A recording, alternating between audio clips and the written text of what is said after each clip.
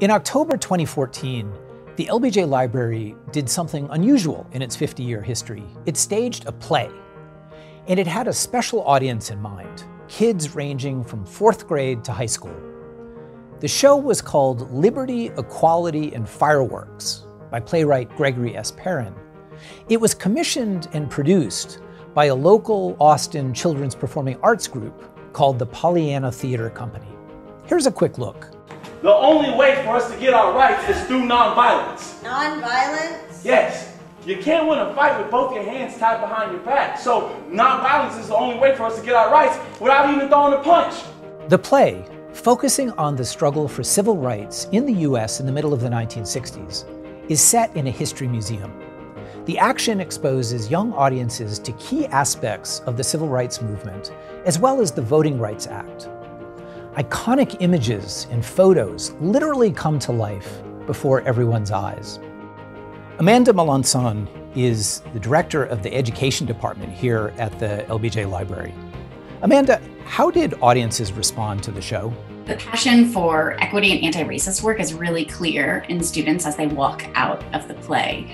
The concepts in the play are so hard to teach in a classroom, and by students being able to see their peers from 60 years ago live through the civil rights movement, students are able to put themselves in those shoes and walk away asking a lot of questions and wanting to know more.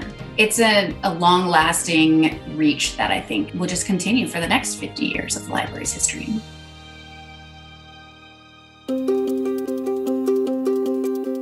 Every year, we welcome thousands of school kids to the library to learn from our exhibits and our education specialists.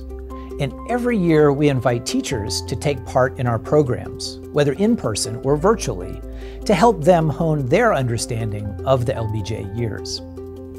In recent years, we've even invited students or teachers to visit with distinguished visitors, including former Secretary of State Madeleine Albright, journalist Dan Rather, former National Security Advisor Susan Rice, Olympic medalist Ibtihaj Muhammad, Andrew Young, Julian Bond, and Justice Sandra Day O'Connor. LBJ is often called the education president, and not without reason. The education bills that he signed into law created tremendous new opportunities for Americans to attend school at every level.